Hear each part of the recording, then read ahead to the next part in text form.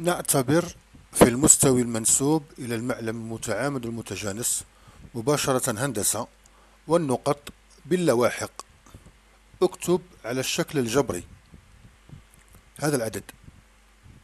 أولا الآلة الحاسبة تعطيك الجواب. ثانيا أعوض هذه القيم وأضرب في المرافق فأجد الجواب. هذه طريقة. الآلة الحاسبة تعطيك الجواب تعوض هذه الأعداد وتضرب في المرافق تجد الجواب.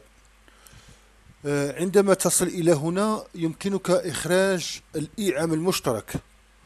ستجد ناقص أربعة زائد اثنان إي تخرج الإيعام المشترك وتجد جواب. يمكن هندسيا بسهولة. لماذا؟ لأن زاد سي ناقص زاد أ هو زاد أ سي. نستعمل علاقة شال. أ سي. هو أ أ فتحة. زائد أ فتحة سي. أ أ فتحة تساوي ناقص أربعة. أي ناقص أربعة. وأ فتحة سي تساوي اثنان إي. أي اثنان إي. بالنسبة ل AB نفس الشيء. هو A A فتحتين زائد A فتحتين B. A A فتحتين يساوي اثنان أي اثنان. و A فتحتين B واحد اثنان ثلاثة أربعة. تساوي أربعة.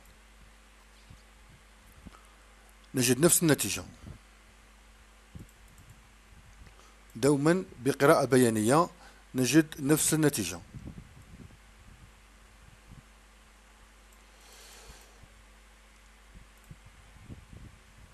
اكتب على الشكل الجبري.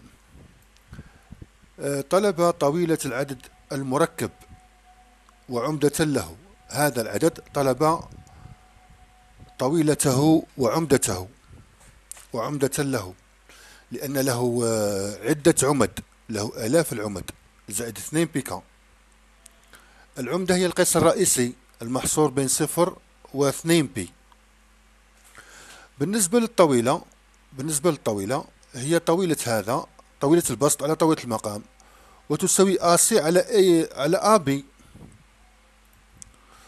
وتساوي AC على AB وتساوي الواحد. لأن طويلة هذا هي طويلة ال i طويلة ال i تساوي واحد.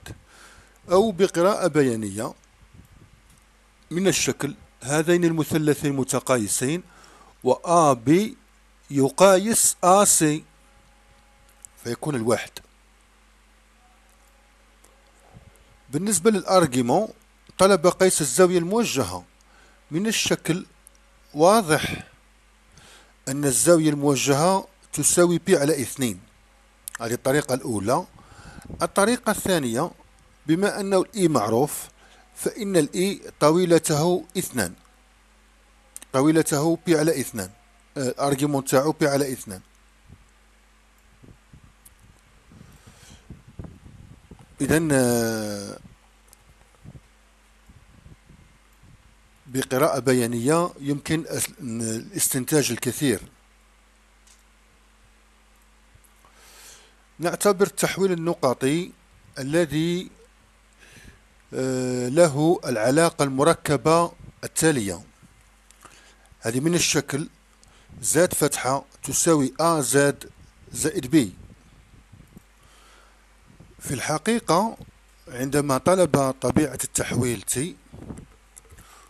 محددا عناصره المميزة هنا يلمح إلى خلاصة. الخلاصة هي هذه. الخلاصة هي هذه.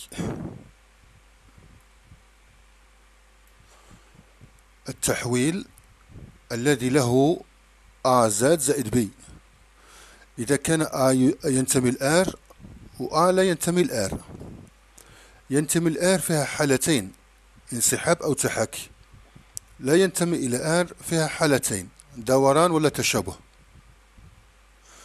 ما هو هدف السؤال؟ تعيين طبيعة التحويل انطلاقا من الكتابة زاد فتحة تساوي آ زاد زائد بي.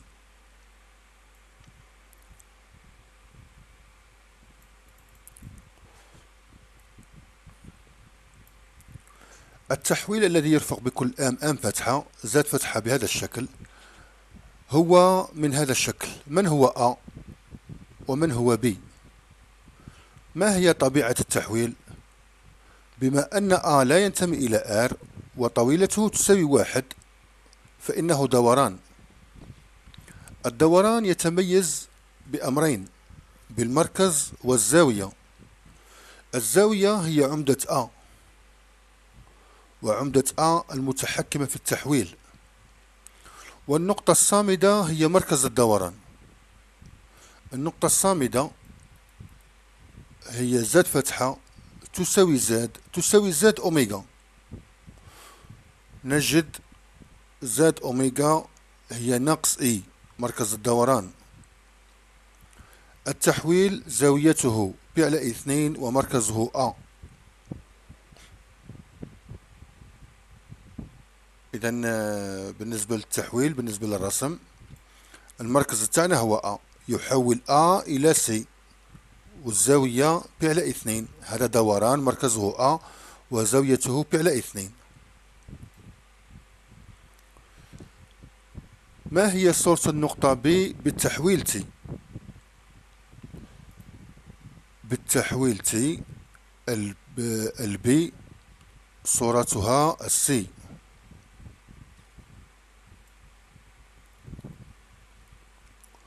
صورة B بالتحويل T هناك طريقتان. طريقة من الرسم وطريقة بالعبارة المركبة. أعوض زاد B فأجد أنها سي بين أن هناك استقامية بين A و C و D و D معرف بهذه الطريقة. هناك ثلاث طرق. أستطيع أن أرسم دي وألاحظ الأشعة الارتباط الخطي للأشعة. إذا أه، صورة بي الدي هي هكذا. برهان أن دي A و C على استقامية. الأ والسي والدي الطريقة الأولى هندسيا. لاحقة الشعاع أسي ولاحقة الشعاع آدي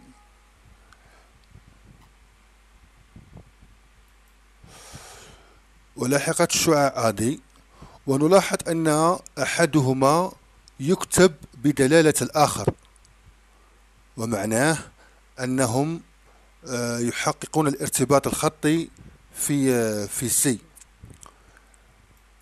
أما الارتباط الخطي في الهندسة الديكارتية هذا ارتباط خطي عند أرغند وهناك ارتباط خطي عند ديكارت. نحسب مركبات الشعاع آسي ومركبات الشعاع آدي ونحقق شرط الارتباط الخطي. أن هناك المستقيم آدي يوازي المستقيم آسي. ولكن الطريقة الثانية لا توجد فيها أعداد مركبة. الطريقة الثالثة بالهندسة الأرغندية أربط الأفكار السابقة. ما معنى هذا يساوي هذا؟ معناتها لاحقة هذا تساوي واحد فاصل خمسة. لاحقة هذا.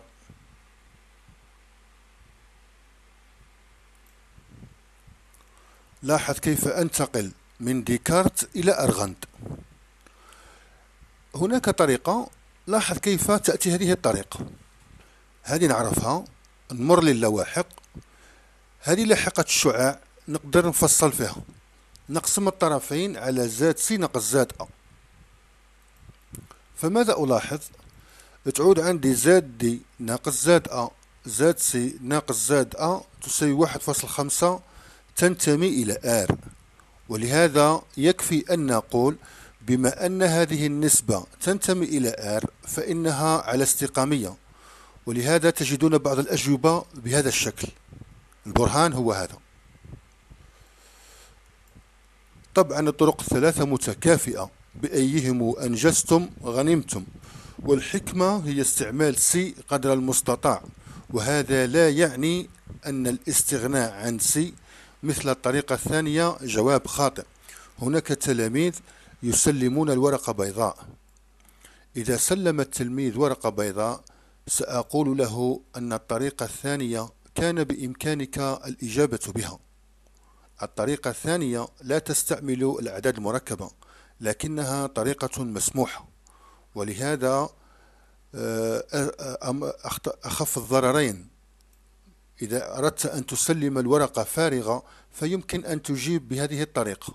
هذه الطريقة معمول بها في الأولى ثانوي. الأولى ثانوي إذا أعطيته ثلاث نقاط قلت له باللي برهن أنها على استقامية يحسب مركبة الشعاع الأول ومركبة الشعاع الثاني ويلاحظ التناسبية هذه ولا يلاحظ شرط الارتباط الخطي.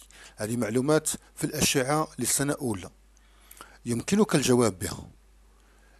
أجب بهذه الطريقة ولا تسلم الورقة فارغة. كل الطرق صحيحة.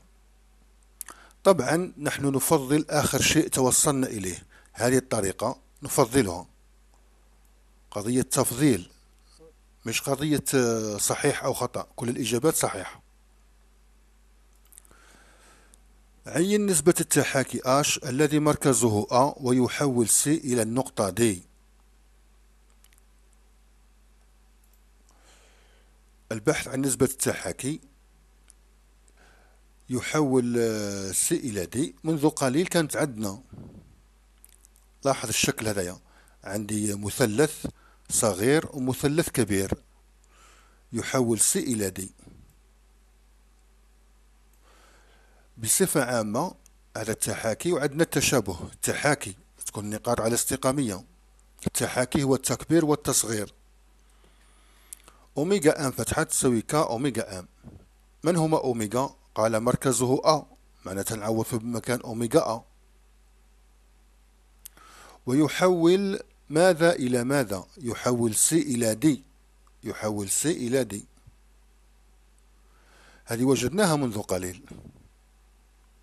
هذا بالطريقة الأولى هندسة ديكارتية وعلاقات شعاعية نستطيع كذلك بالهندسة الأرغندية بهذا الشكل.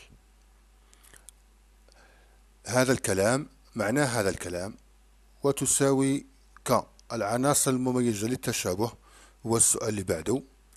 عين العناصر المميزة للتشابه S الذي مركزه A ويحول B إلى D إذا ما هي فكرة التمرين؟ لاحظ هنا الكوس هذا الكوس. هذا سميته منقى الكوس من الذي يحول B إلى C هو الدوران. ومن الذي يحول C إلى D هو التحاكي. ومن الذي يحول B إلى D هو التشابه. إذا التشابه عنده مركز وعنده نسبة. مركزه نسبته هي نفسها نسبة التحاكي وعمدته هي نفسها عمدة الدوران هي زاوية الدوران.